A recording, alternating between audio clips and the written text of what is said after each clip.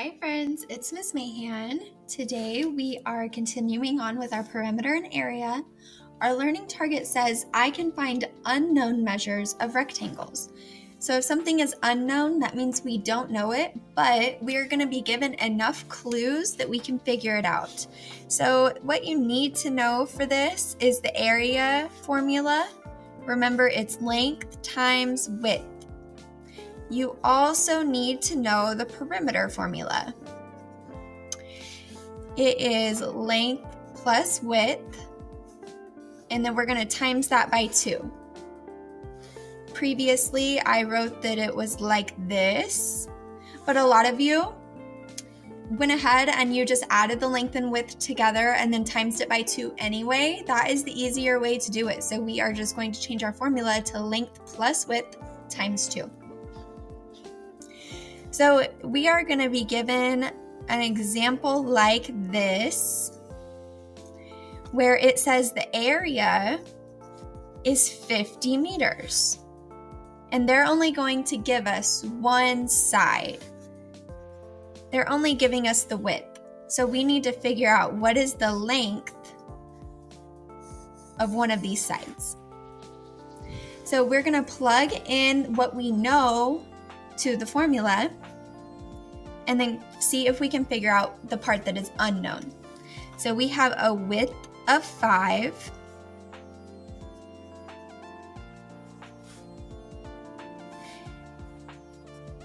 And the total area is 50.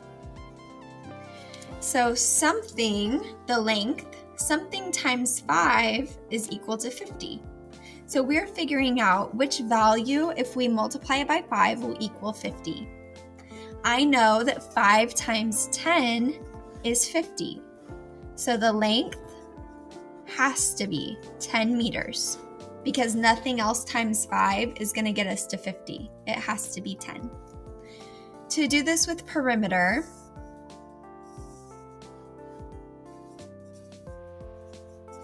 they might tell us that the perimeter is 22 feet. And then the only other piece of information that they're giving us is that this length is six feet. So we're gonna plug into our formula to figure out what the unknown part is. So we have 22 is equal to 6 plus something times 2. So we kind of have to work backwards. So if we're timesing it by 2, we're timesing this by 2, and it's going to equal 22. So that means half of it, or this side and this side together, is equal to 11. So now we can tell 6 plus something equals 11. Well, that's easy. We know that that's 5. So now let's see if our formula works that our perimeter equals 22. 6 plus 5 equals 11. And when we times that by 2, we get 22. So we know that the width is equal to 5 feet. I'm going to go through a couple more examples of each and then one type of word problem for each, and then you will be good to go to do this yourself. Let's start with perimeter. Our directions say find the unknown measure of the rectangle. We know that the perimeter is 30 centimeters and we're given 9 centimeters. We also know that with perimeter, this side and this side have the exact same length. So we have another 9 centimeters over here. 9 plus 9 is 18.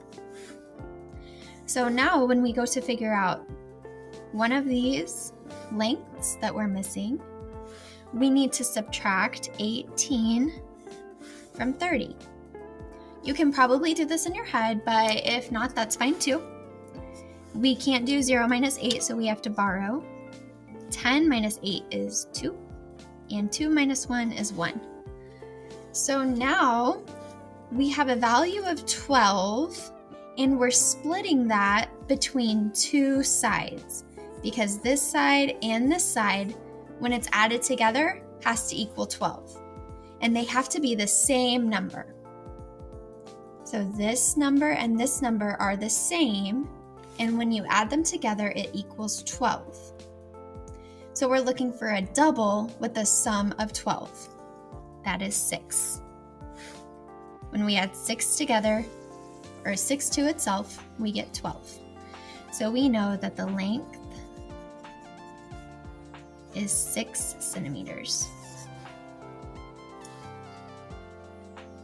Our next one, we're given a perimeter of 86 yards.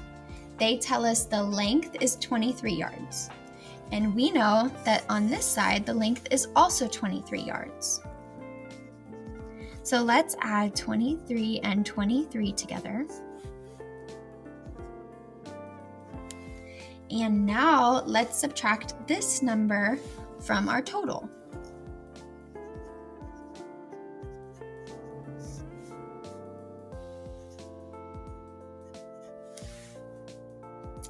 Our last step is to figure out the width.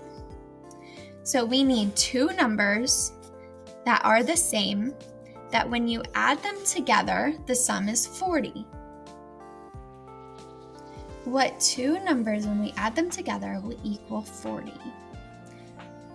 But the numbers have to be the same because our widths are the same. That would be 20. So we know that the width is 20 yards.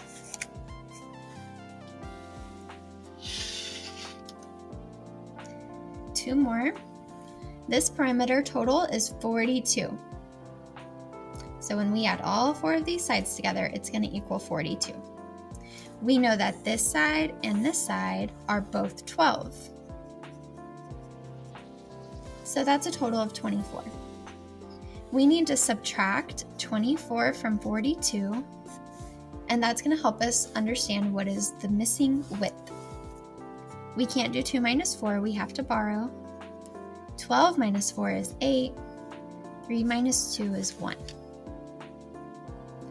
What number, when we add it to itself, is going to equal 18?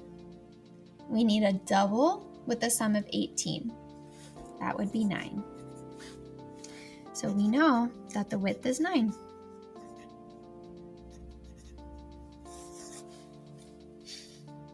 Last one. Our perimeter is 30. We know that we have 8 and 8, which equals 16. Let's subtract that from 30.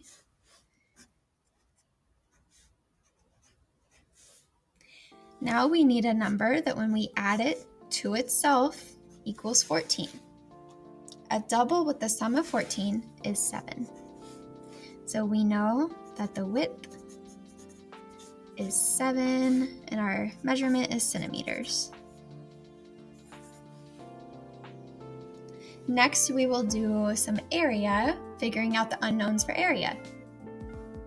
Okay, friends, our directions say find the unknown measure of the rectangle. So let's start with this one in our upper left corner. We're told that the area is 75 meters squared. We're given one side the width, that's 5 meters. So 75 equals length times 5. For us to figure out what this L is, you can either count up by fives and see how many times you count 5 until you get to 75, or we can use our division skills to do 75 divided by 5. This way, is much better because you are guaranteed to get the right answer. So 5 goes into 7 one time, and it equals 5. 7 minus 5 is 2. Bring down your other 5. Does 5 go into 2? No, so we need to go to the next place value. 5 goes into 25 5 times and 5 times 5 is 25. So we're left with nothing. So we know that the length is 15 meters.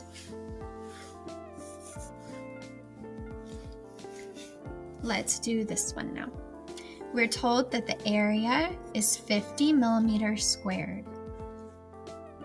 We're given just one side, the width, so 50 equals length times 2.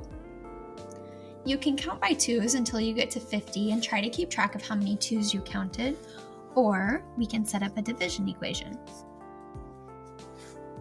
50 divided by 2. 2 can go into 5 two times, and equals 4. 5 minus 4 is 1. Now bring down your 0. So we're left with 10.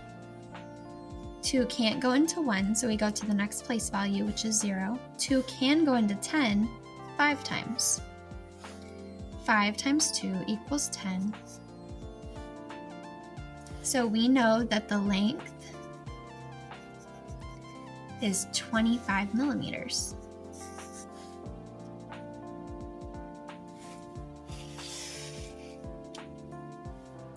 Okay, friends, our directions say find the unknown measure of the rectangle. So let's start with this one in our upper left corner. We're told that the area is 75 meters squared. We're given one side the width, that's 5 meters. So 75 equals length times 5. For us to figure out what this L is, you can either count up by fives and see how many times you count five until you get to 75, or we can use our division skills to do 75 divided by 5. This way is much better because you are guaranteed to get the right answer. So 5 goes into 7 one time, and it equals 5. 7 minus 5 is 2. Bring down your other 5. Does 5 go into 2? No, so we need to go to the next place value. 5 goes into 25 5 times. And 5 times 5 is 25. So we're left with nothing. So we know that the length is 15 meters.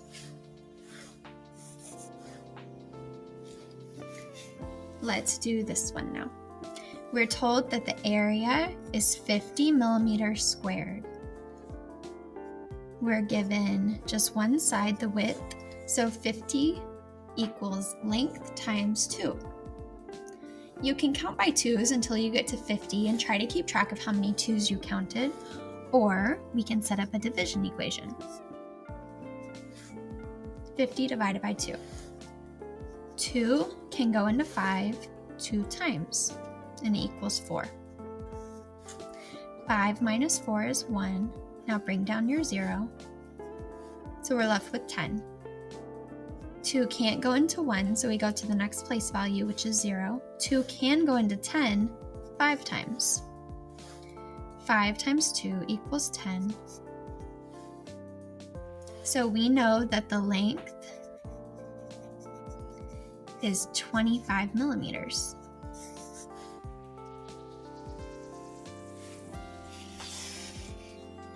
Two more. We're told that the area equals 240 meters squared, and we're given a width of 80 meters. So 240 equals 80 times W. The W stands for width. That's what we're trying to figure out. So we can count by 80 until we get to 240 and see how many times we counted, or we can set up a division problem. Okay, I'm going to show you guys a little trick that maybe you've seen before, or maybe you haven't. So instead of doing 80 divided by 240, or 240 divided by 80, let's do 24 divided by 8. We know that 24 divided by 8 is 3. So if we multiply 80 times 3, we're going to get 240 we can just add those zeros back on the end after we're done with our equation. So we know that the width equals 3 meters. And now the last one for area. We know that the total area is 108 feet squared. We're given a length of 9 and we're missing the width. So let's set up our division equation. 108 divided by 9. 9 can't go into 1, but it can go into 10. It can go into 10 once. Bring your 8 down. 9 can't go into 1, but it can go into 18 twice. And that equals 18. So we know that the width is 12 feet. So that is how you will figure out the missing sides for area. You will divide the total area by the number that you do have to find the number that you don't have. Here is our first word problem. It says the rectangular parking spot has an area of 220 feet squared and a width of 10 feet. What is the length of the spot? So our total area is 220 feet squared. So we're going to take our total and we're going to divide it by the number that they gave us. In this case, we're doing 220 divided by 10.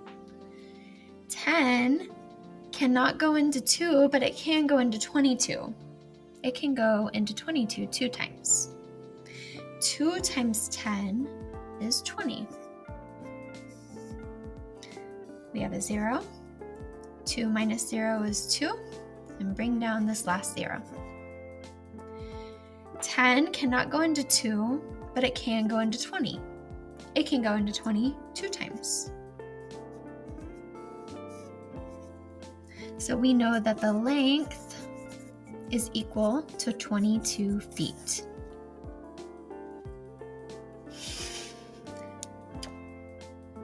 Here's our next one. A rectangular zoo enclosure for a red panda has a perimeter of 116 meters and a length of 25 meters.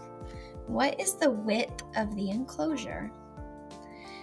So we know that this side is also 25, and 25 plus 25 is 50 we take 50 and subtract it from 116, which is our total.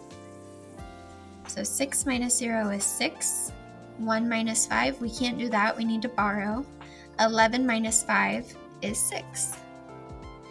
Now we need two, well, not two numbers, but one number when we add it to itself that's going to equal 66.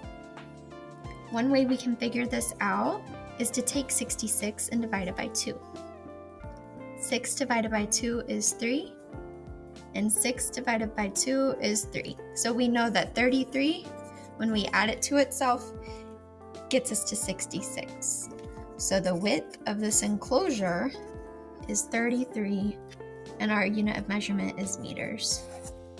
And that is all. So you'll have a couple problems for figuring out the unknown area a couple of problems for figuring out the unknown perimeter, and then one problem just like this, a word problem of figuring out the unknown length and area. So about five or six problems altogether. I know you guys can do it and you're gonna do a great job.